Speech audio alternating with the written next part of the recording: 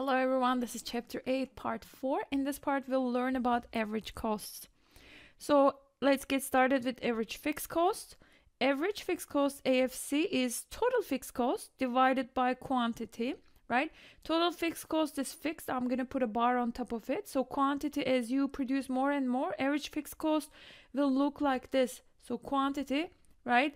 This is all the costs, average fixed cost. It's going to look exactly like this and as sorry for my handwriting uh, and as quantity goes to infinity. That means if you produce a lot of output average fixed cost uh, converges to zero. It goes to zero right? Average variable cost. Again total variable cost divided by quantity all right? Average variable cost will look like this. Average variable cost it will first go down then will go up average variable cost measured in dollars, right? It's it's going to have a U shape and quantity on the x-axis. Average total cost, very easy. Total cost divided by quantity. Or you can actually add average fixed cost with average variable cost to find average total cost. Same thing, okay? So average total cost is actually sum of these two, one, two, right? What it looks like, I'm actually going, okay, so this is what they look like if you put all of them together. So this is costs, right? Measured in dollars.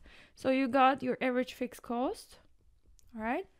Uh, let's say average variable cost looks like this. And because average total cost is the sum of these two, we're going to add them vertically. So this distance plus that distance. So it's going to start somewhere here. It's also going to be U-shaped. This is average total cost. Let me write it better. it's going to be also U-shaped. It's going to start far away from the average variable cost. It will get closer to it. Why? Because my average fixed cost is shrinking. So the difference between average total cost and average variable cost is the average. Okay, so we're back. Next, we're going to learn how to calculate all these variable costs. Next, we're going to learn how to calculate all these variable costs. I just want to point something out. So when we say average, average, average, average, right? Fixed cost, graph fixed cost divided by average it over what? Average it over quantity produced. Average what cost? Variable cost, grab total variable cost divided by quantity.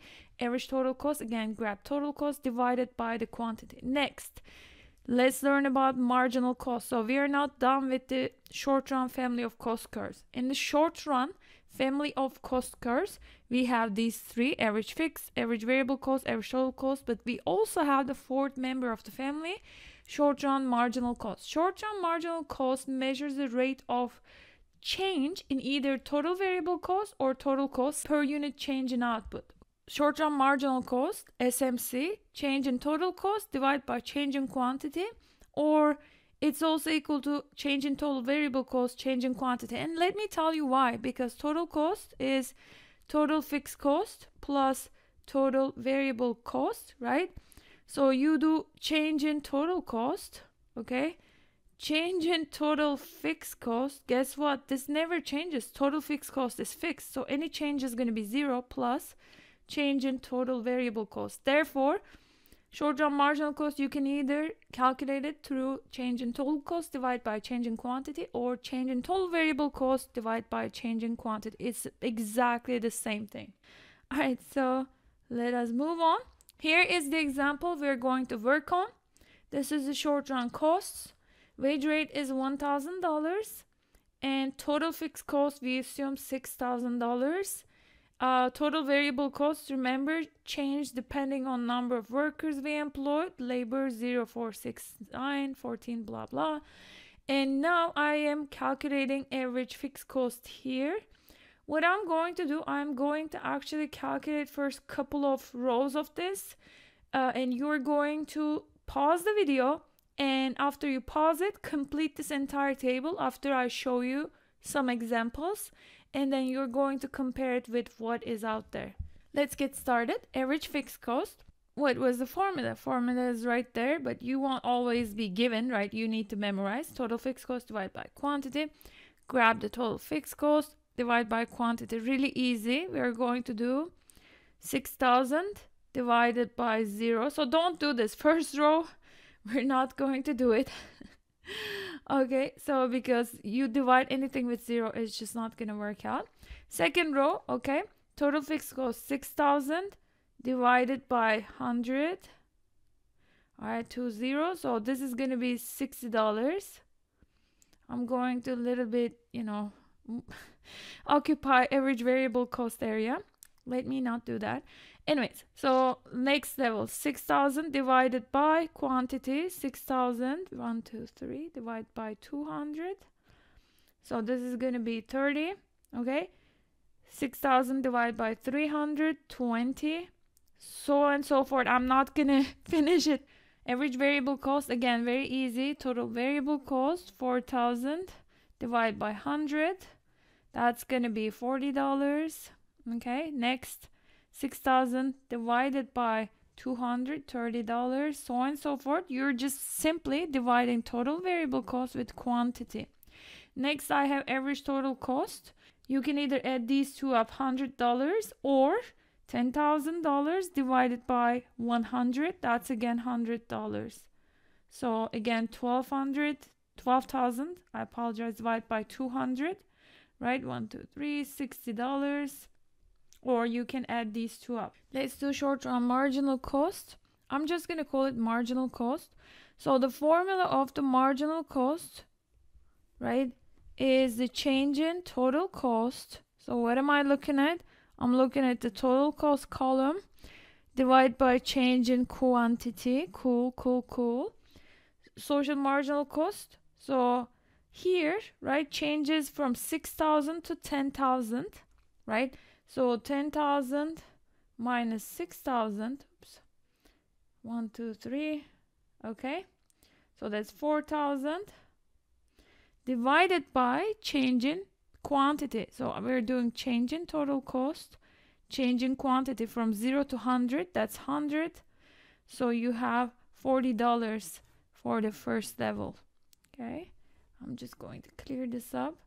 So it's $40 from here to here, $2,000 change in total cost. Change in output is 100. Okay, so 20 here. So on and so forth. Pause this video and complete this table on your own. Okay, we're back. If you've completed this table, this is what you're going to see.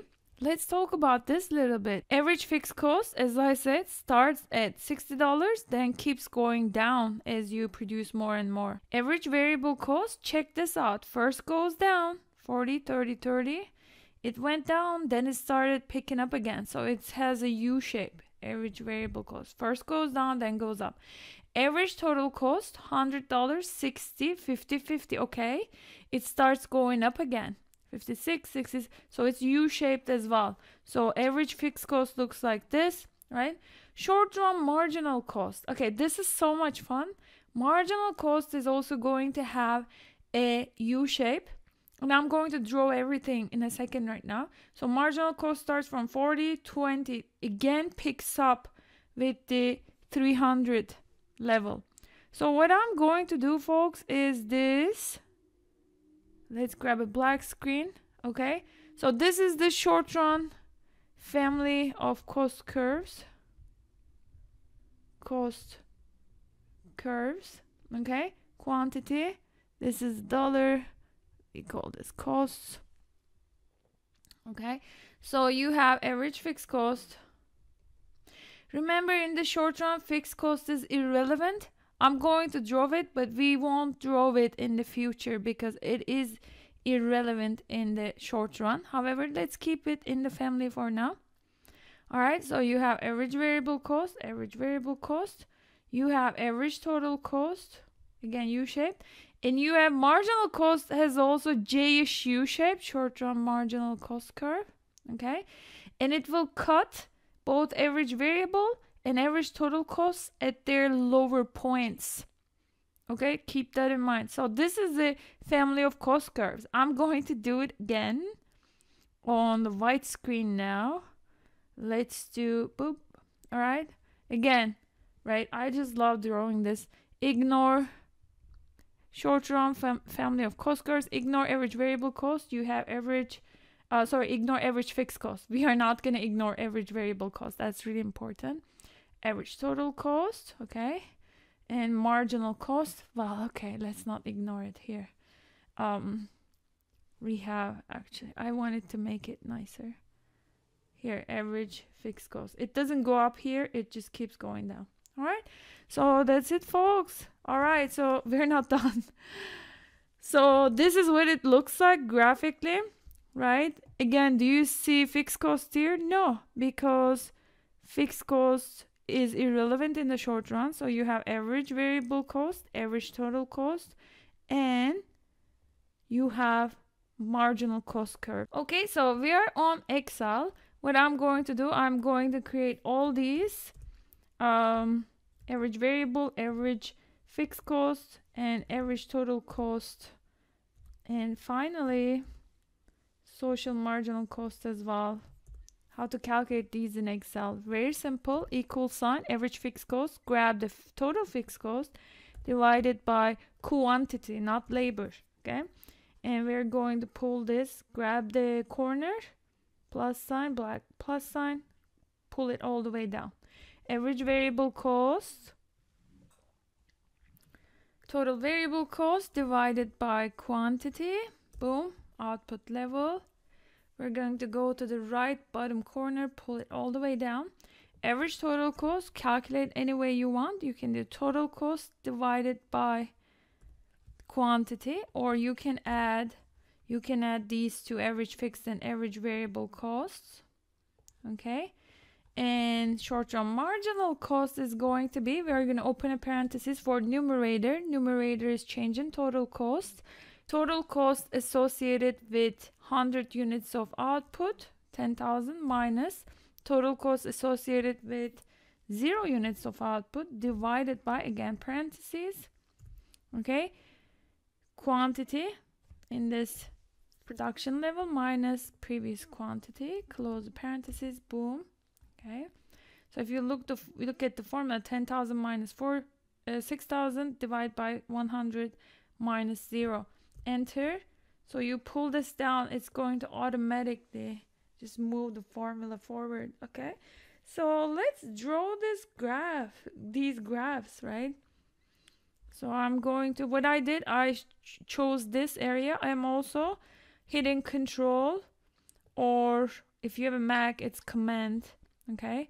So we're going to insert charts scatter choose the scatter and choose you know this one is nice or if you choose this one this is more like the one from the book make it bigger this is pretty cool I keep doing this um okay I keep moving the graph instead of the entire chart Okay, so let's see. Average fixed cost, blue line, consistently declining. Let's draw it a little bit.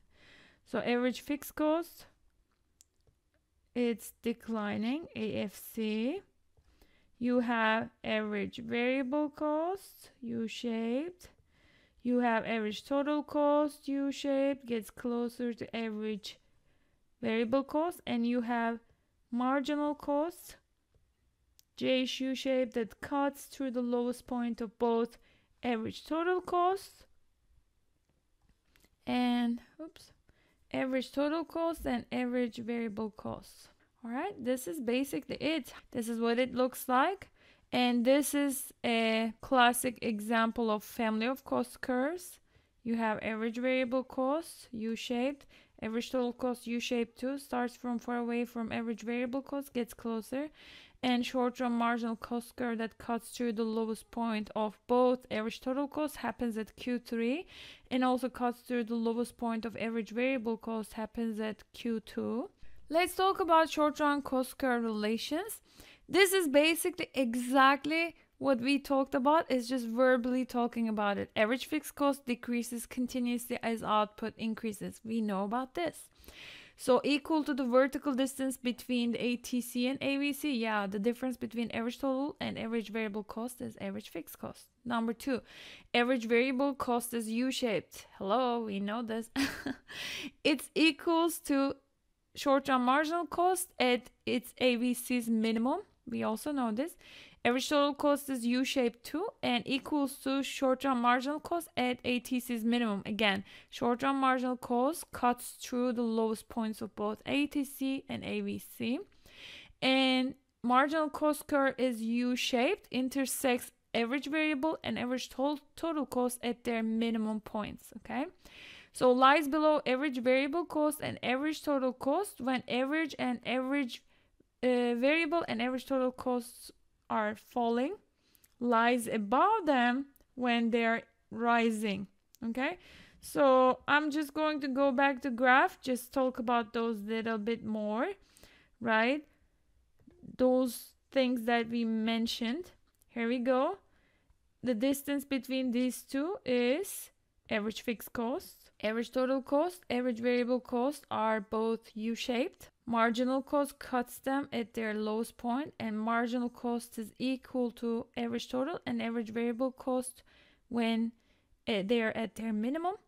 Next, when average total cost and average variable cost are declining, you see marginal cost lying below them when average total cost and average variable costs are increasing, not necessarily something we like, marginal cost lies above them. So we are done with this part. I'll see you in part 5.